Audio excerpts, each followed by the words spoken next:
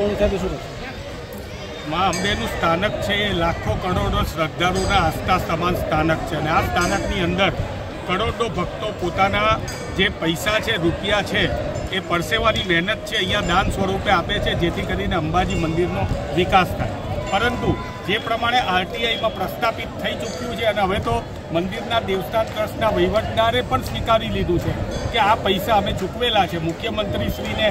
અને એમના ધારાસભ્યોના, એકસો છપ્પન ધારાસભ્યોના જે આમંત્રણ આપેલું હતું વિધાનસભા અધ્યક્ષશ્રીએ, પરંતુ એ રૂપિયા જે છે એ મંદિર ટ્રસ્ટ દ્વારા ચૂકવાયા છે. સત્તરસો પચાસ રૂપિયા એ જમવાનો ખર્ચો અને લગભગ સાતસો વીસ રૂપિયા ચાનો ખર્ચો એમ લગભગ બાર લાખ જેવી રકમ એ મંદિર ભાવિક ભક્તોના ટ્રસ્ટના દાનમાંથી જે આવે છે, એમાંથી ચૂકવાઈ છે. અમે આજે સ્થાનિક ધારાસભ્ય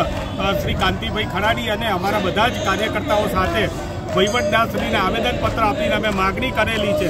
કે આ પૈસા જલ્દીથી રિકવર કરવામાં આવે. સરકાર જોડેથી આ પૈસા જલ્દીથી પાછા લઈ લેવામાં આવે અને ખાસ કરીને અમારી જે માગ છે, એ માગ જો સ્વીકારવામાં નહીં આવે, તો આવનારા સમયની અંદર જે ધારાસભ્યો આપ જમીને ગયા છે જે મુખ્યમંત્રીશ્રીનો વિસ્તાર છે, ધારાસભ્યનો વિસ્તાર છે, તે અંબાજી માતા દેવતા ટ્રસ્ટનો દાનનો ક્યુઆર કોડ લઈને ભાવિક જનતા અને કોંગ્રેસના કાર્યકર્તાઓ લોકોની વચ્ચે જશે અને આ બાર લાખ રૂપિયા જે છે, એ અમે લોકોના દાન દ્વારા ફરીથી અંબાજી ટ્રસ્ટની અંદર આપીશું અને વસૂલ કરાવીશું અને ક્યુઆર કોડના માધ્યમથી સમગ્ર ગુજરાતને અમે જાગૃત કરીશું કે અંબાજી દેવસ્થાન ટ્રસ્ટની અંદર જે પ્રમાણે ભક્તોના પૈસા રૂપિયા આપેલા દાનના છે, એ કઈ રીતે નેતા અધિકારોની સરભરામાં ખર્ચવામાં આવે છે, આ સરભરાનો ખર્ચ સંપૂર્ણ રીતે બંધ થઈ જવું જોઈએ. ભૂતકાળમાં છેલ્લા દસ વર્ષની અંદર વીસ લાખ રૂપિયા આ રીતે નેતા અધિકારીઓની સરભરા માટે પણ અહીંથી આપવામાં આવ્યા હતા.